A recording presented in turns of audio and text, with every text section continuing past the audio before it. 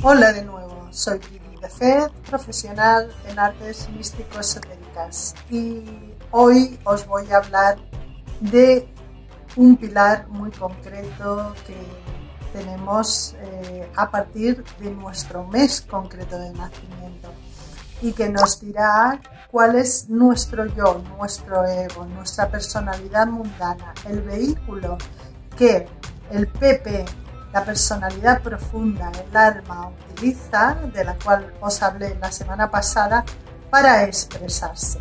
Por lo tanto, aquí encontraremos que el número que corresponde a nuestro mes nos hablará del tipo de personalidad que estamos construyendo, el personaje que venimos a interpretar y que nos servirá de vehículo para expresar nuestro propósito de vida, así como nuestra eh, esencia o personalidad profunda y real.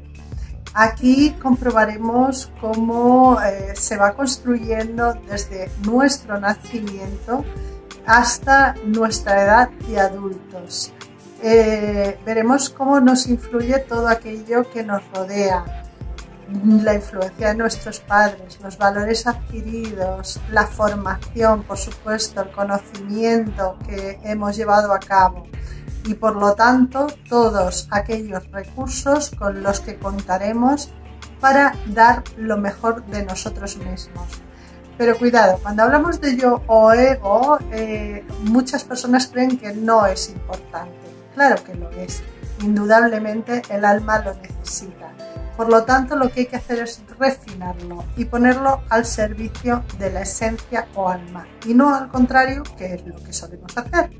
Poner el alma totalmente en un rincón para que el ego se pueda expresar por sí mismo. Bueno, si queréis saber más, ya sabéis a través de la Escuela Orden de Ayala, tanto para pedir vuestras consultas personales como para realizar una formación al respecto. 22 llaves de transformación para tu conocimiento y transformación.